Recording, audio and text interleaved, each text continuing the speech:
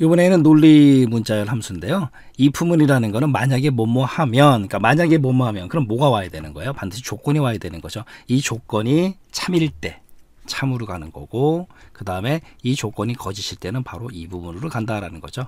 if 조건 참 거짓 요 형식 조심하셔야 되고, 그래서 조건식이 참이면 값 1, 거짓이면 값 2를 갖다가 반환해 주는 함수 if문이에요. 그 다음에 ifs s가 붙었잖아요. 이건 조건이 여러 개일 때 하나 이상의 조건이 충족될 때 그때 사용하는 함수가 ifs 이것도 조심하셔야 되고 그 다음에 switch라는 거는 변환 그래서 변환할 값 그다음에 일치시킬 값 1, 그 다음에 일치하는 경우 반환할 값 1. 그러니까 요 값이 얘랑 일치하면 이렇게 반환하라 이 뜻이에요. 그 다음에 and 같은 경우는 그리고잖아요. 그러니까 둘 다 만족했을 때 모든 조건이 참일 때 true가 되는 거고 or이라는 거는 하나만 만족해도 참이 되는 거예요. 조건 중 하나 이상만 참이면 true가 됩니다. 그래서 and or은 방금 전에 말씀드린 if문과 같이 쓰인다라는 거죠. LEFT, left는 왼쪽이란 뜻이 있잖아요. 그러니까 왼쪽에서 몇 개를 가져오는 거예요. 왼쪽에서 지정한 개수만큼 문자를 추출해 주는 함수고 RIGHT right는 오른쪽에서 지정한 만큼 개수 문자를 추출하는 거.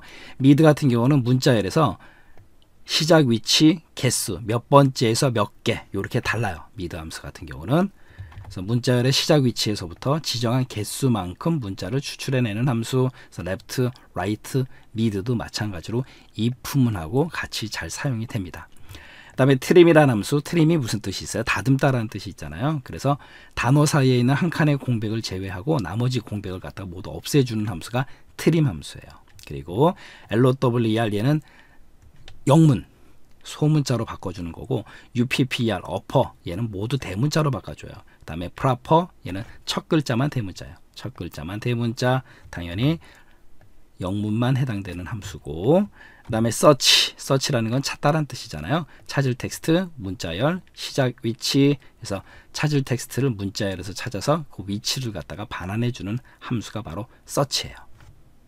다음 중 아래 워크시트에서 가입일이 2000년 이전이면 회원 등급을 골드 회원으로 하고 그렇지 않으면 이제 일반 회원으로 표시하려고 한다라는 거죠. 그러니까 이 부분이 필요한 거죠. 얘가 이제 조건이 되는 거고 CA 19셀에 입력할 수식으로 오른 것은 CA 19 여기에 가입일이 이제 2000년도 1월 15일 이렇게 나와 있어요. 그러면 이제 if문을 써야 되는 거죠. 그러니까 1번 같은 경우는 today if 이렇게 때문에 틀린 거고 if문이 먼저 이렇게 나와야 되는 거예요. 는 if, if, if, if. 그러니까 2, 3, 4 셋 중에 하나인데 중요한 건 뭐냐면 BA 19에 2000년도 01 15, 1월 15일 이렇게 돼 있잖아요.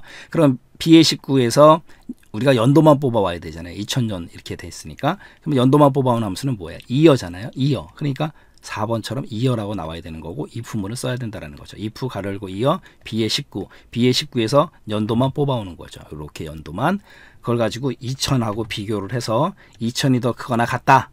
그럼 얘가 뭐가 되는 거예요? 조건이 되는 거잖아요. 조건. 2000년도 이전.